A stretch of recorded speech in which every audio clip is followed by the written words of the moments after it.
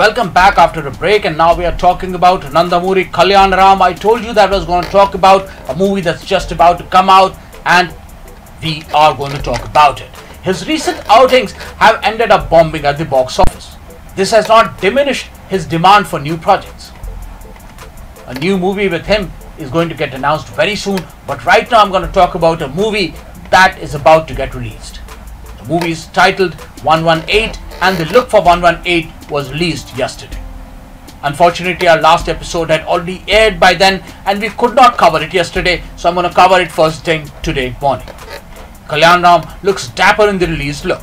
118, which is being marketed as an action thriller, is being directed by KV Guhan.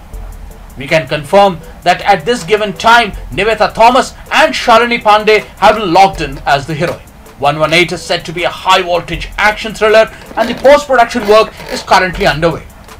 While Shekhar Chandra is the music director, it is East Coast Productions who are producing 118.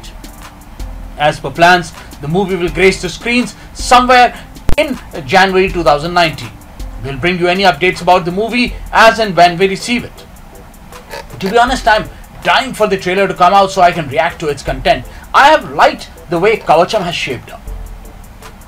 So, I think the time is right for a couple of cop dramas to come back to back and give us that thrill because it's winter time.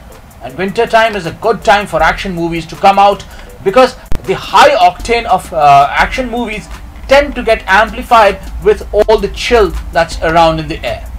Obviously, romantic movies do well in this time as well, but more towards the end of January. But right now, from December till the mid of January, I think it's the time uh, for more action movies to come out, more uh, cop dramas to come out. Another cop drama that's going to come out in a few days, and uh, the trailer which released yesterday is Simmba. Uh, my team is going to do a review of the Simmba uh, trailer. I might not be doing that uh, particular review, but do watch that and I think Simmba is going to be a fairly good movie as well. It is a remake of the southern hit uh, Temper and I'm sure that with the, even with the changes that have been made for the uh, Hindi edition, it is going to be an equally entertaining movie as it was earlier.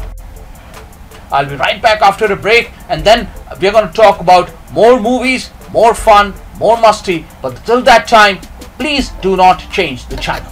Thank you.